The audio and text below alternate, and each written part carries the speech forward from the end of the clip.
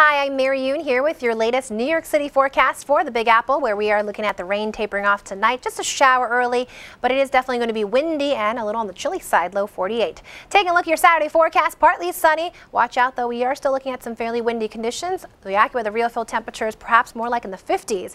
Staying dry through Sunday, a high 64 in the extended outlook. Next chance for rain arrives on Tuesday. Get your Manhattan weather and local news here at DNAinfo.com.